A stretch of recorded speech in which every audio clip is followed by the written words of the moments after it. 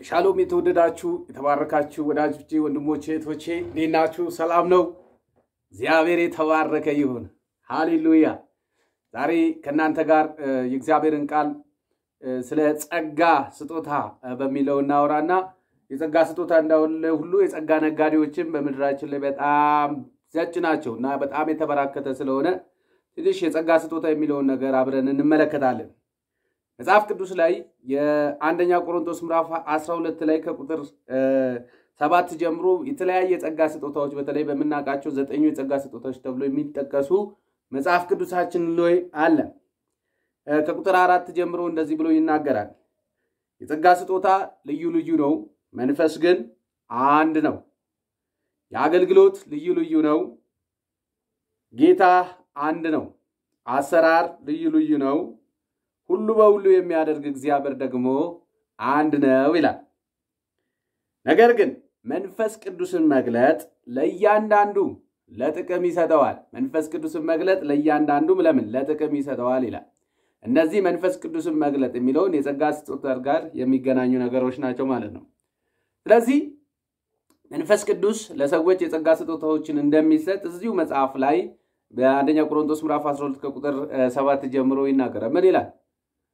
ለአንዱ ጥበብን መናገር ይሰጣል ይላል። ጥበብ መናገር ማለት እግዚአብሔር አምላክ ወደፊት ሊያደርጋቸው የሚገቡትን ነገር በመለኮታዊ ኃይል መገለጥ ማለት ነው። ይህንን ጥበብ መናገር ይሰጠዋል ይላል። ለአንዱ ደግሞ በሌላው ደግሞ እውቀትን ይሰጠዋል ይላል። እውቀት ማለት ያለፈውን ያትለፋችሁትን ታሪክ የሰራዊት ጌታ እግዚአብሔር እንዲህ ያሳየኛል፣ እንዲህ እንዲህ እንዲያልፋችኋል ምናምን ብለው ያንን ከነገሯችሁ በኋላ እግዚአብሔር ደግሞ አሁን ይህንን ያደርጋል ብለው የሚሰጧችሁን አይነት እውቀት ማለት ነው። ለዛው ደግሞ እምነትን ይሰጠዋል። እምነት ማለት እግዚአብሔር በውስጣችሁ ውስጥ ታላቅን እምነት ሞልቶ የማይቻለውን ነገር እግዚአብሔር ይችላል ብላችሁ አምናችሁ የምትጸልዩትን የምታደርጉትን እግዚአብሔር በዛ ውስጥ አልፎ ሲሰራ ያን የጸጋ ስጦታ ለሰዎች እግዚአብሔር ይሰጣል። ሌላው የመፈወስ ስጦታ ነው። የመፈወስ ማለት የትኛውንም በሽታ ሊሆን ይችላል። ስንጸልይ ወይም ስትጸልዩ እግዚአብሔር አምላክ አልፎ እነዛን ሁሉ ምን ይላል ይፈውሳል። ሌላው ሌላው ታምራትን ማድረግ ነው። ታምራትን ማድረግ ማለት በጣም አስደናቂ የሆነ በሰው አይምሮ በላይ የሆነውን ነገር እግዚአብሔር አምላክ እጅግ ጣቶቹ አልፎ ወይም ደግሞ አንካሶቹ ሲዘሉ ሊሆን ይችላል። የታመሙ ሰዎች አልጋ ላይ ወደቁ መነሳት የማይችሉ ሰዎች ሲነሱ፣ አይነ ስውራን ሲበሩ፣ ጆሯቸው የማይሰማ ሰዎች መስማት ሲጀምሩ፣ እነዚህ ሁሉ ታምራት የጸጋ ስጦታዎችን ልን እንችላል። ሌላው መናፍስትን መለየት ነው። መናፍስትን ማለት አንድ ሰው ክፉ መንፈስ እንዳለበትና የእግዚአብሔር መንፈስ እንዳለበት ለይተን የምናውቅበትን እግዚአብሔር የሚሰጥ የጸጋ ስጦታው ነው።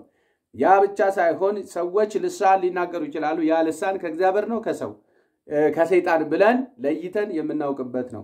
ሌላው ደግሞ ምንድነው? ትምህርቶችን ትምህርቶቹ ከአጋንንት ናቸው ወይስ ደግሞ ከእግዚአብሔር መንፈስ ነው የሚለውን ለይተን የምናውቅባቸው ይህ መናፍስትን መለየት የሚለውን የጸጋ ስጦታዎች እግዚአብሔር አምላክ ይሰጣል። የጸጋ ስጦታ የመናፍስትን መለየት አጋንንትን በኢየሱስም ጭውና ውጣ ብሎ ከማለት የተለየ ማለት ነው። ያ ለእግዚአብሔር ልጆች ሁሉ አጋንንትን በኢየሱስ ክርስቶስ ውጣ ብሎ ማስወጣት እንችላለን።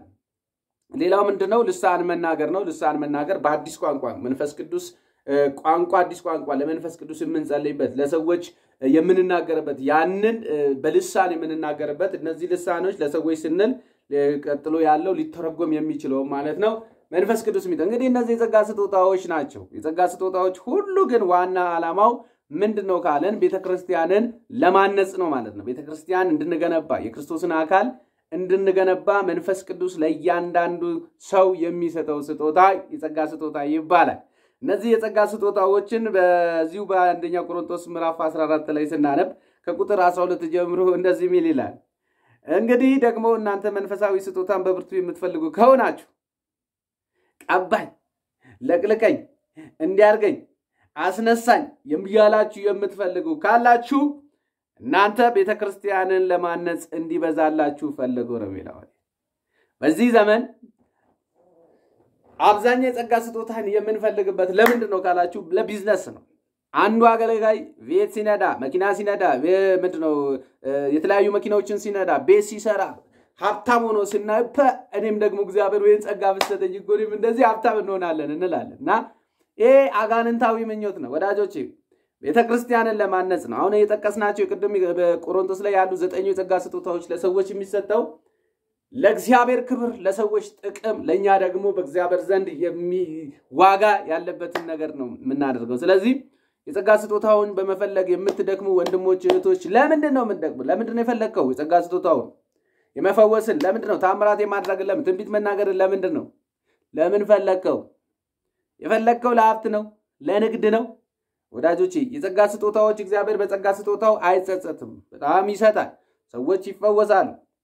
ብዙ ታምራት ያደርጋል። ግን የጸጋ አጠቃቀሞችን ደግሞ ምንድን ነው ወደ ንግድ መቀየር እጅግ ወንጀል ነው። እግዚአብሔር ይጠይቃል ይጠይቃል ይጠይቃል። የጸጋ ስጦታ ስለተጠቀመብህ እኔ በእግዚአብሔር ዘንድ ድኛለሁ እኔ እንድነ ምናምን ልትል አይገባም። ይህንን ዘራፍ እንዳትልክ ደግሞ ከፈለክ ማቴዎስ 7 21 ሄደህ ማንበብ ትችላለህ።